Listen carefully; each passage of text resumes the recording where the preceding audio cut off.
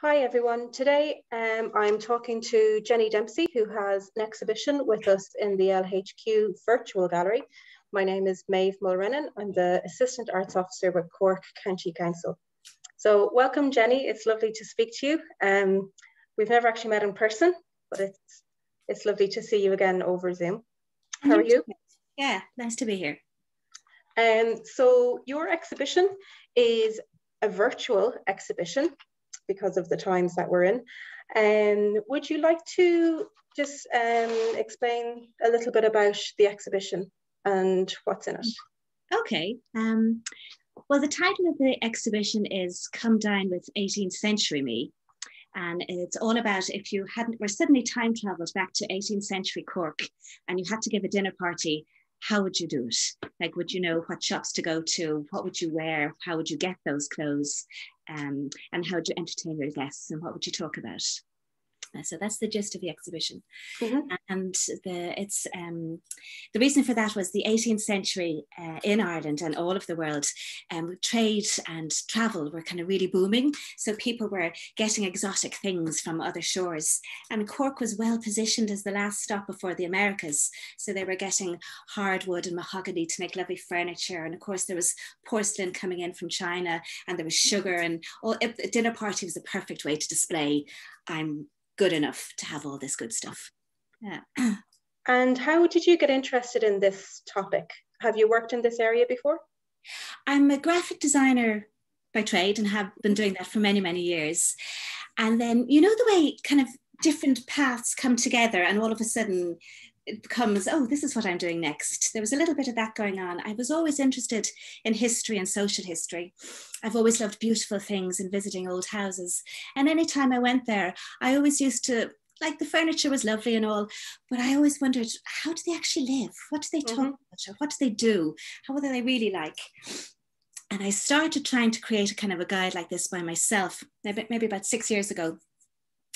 Uh, and I was inundated with facts that I was compiling, and my house was covered with little post-it notes reminding me of things. And I'd discover something, go, "Oh, I'd forgotten about this," and I had notes on notes, and I, I couldn't keep track of it. Yeah. Somebody suggested that I contact the Crawford Gallery to ask if I could do it as an MA or a PhD or something. Uh, so I did, and they said no, but yes. I sound like Little Britain. um, they said that they had a different project coming up. And my original research was set in the Regency times, and they said if I wanted to go back sometime, they had a scholarship um, work in conjunction with Nano Nagle Place, that lovely new museum open in Cork. Uh, to research life for 18th century women, of which mm-hmm. Nagle was one.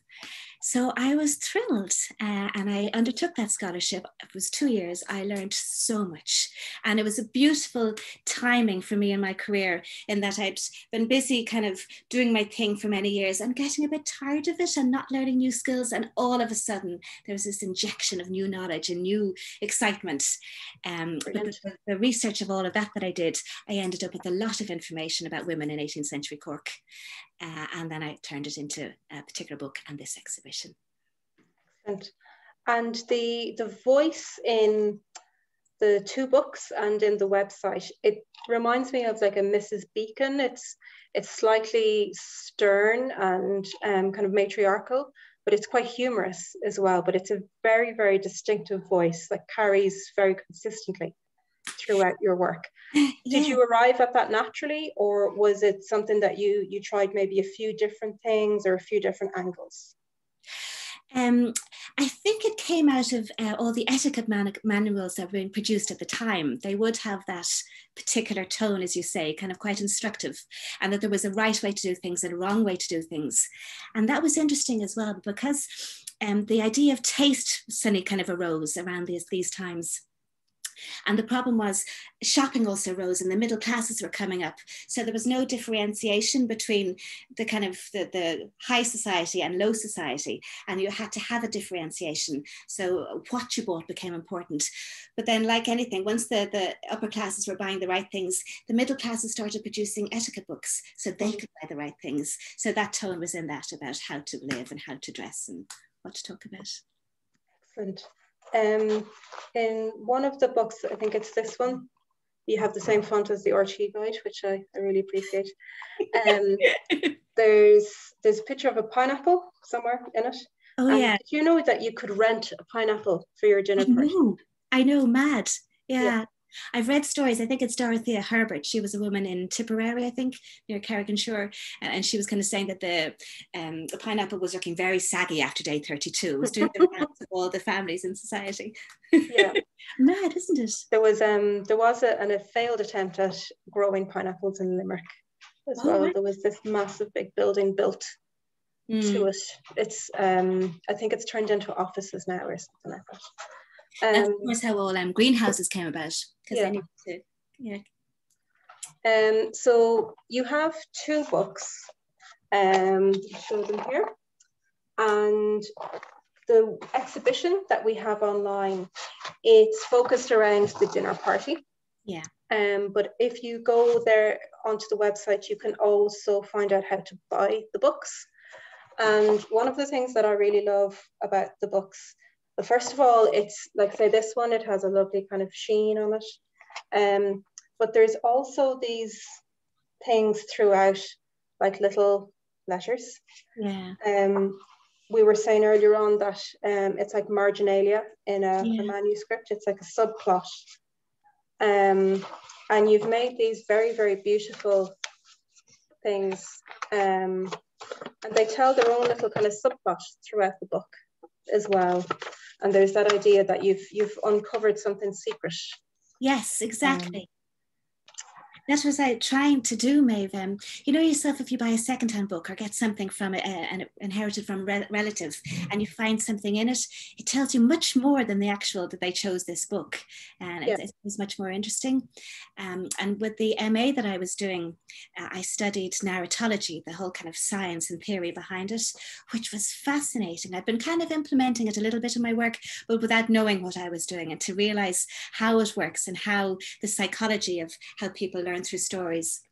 Was mm-hmm. really really interesting. And there was two things i took from that that i'd like to tell you. One of them was the inserts. This whole um, multimodal experience uh, of not just reading pages on a, word on a, a book which a lot of history books are. Mm. so these books try to be they're illustrative there's different uh, styles of illustration and then there's these things to discover. So it's yeah. much more you're involved in the experience of, of, and that's actually also about the how-to guide. That came uh, um, that was part of that as well in that it, it, kind of invites the reader to imagine themselves back in time. So it's again more interactive rather than they did this, they did that. This is more you would do this. Yeah.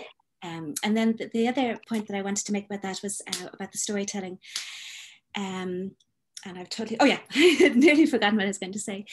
Was, uh, and I've forgotten it again now. That's nerves for you. yes, remembered it again now. Um, what I wanted to try and show also was that we're not that different uh, as people, as women, as we are that, that they were then. Um, I think a lot of us might have the idea that the past was very different and very boring. And what I was trying to do was focus on the things that we do the same. Hmm. Um, actually, I heard a lovely quote recently.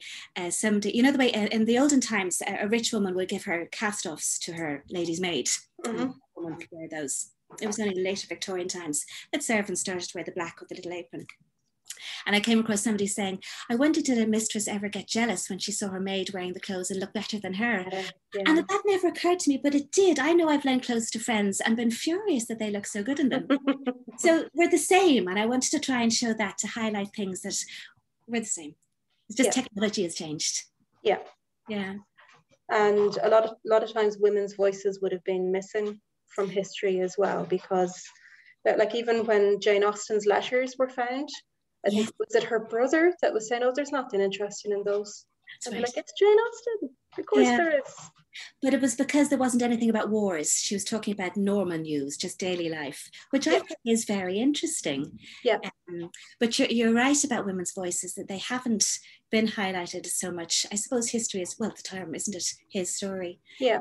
Um, the victories. I did want to do something with that, all right. Um, sorry, my cat has just come in. Oh, great. Jumping in. Um, so what are you, usually when we work with visual artists, by the time they've put up an exhibition, whether it's on a website or on a wall, they're kind of done with it. You know, they're on to the next thing. So what are you working on right now? Well, um, I wanted to. I want to create a series of books. So I'm starting in 1780, where this dinner party is, and then the next one is in the Regency times. If anyone liked Bridgerton, this shows how mm. Irish women lived during Bridgerton time and how they found a husband. Um, and then the next one was going to be set in the 1840s. And I think this one was going to be particularly interesting because um, in previous times, like the further back you get, there isn't that much information about how the kind of middle class or the poorer women lived.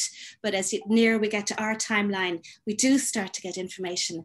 And I do have, I'm starting to get a lot of information about the likes of you and me. Well, sorry, maybe. Mm-hmm. Uh, from the 1840s. So I'm now going to start to introduce a more normal Irish woman. Hmm. Uh, and I want to set that one in gardens, but with the idea of gardens as uh, places for growing food, places for growing medicine, but also for socializing.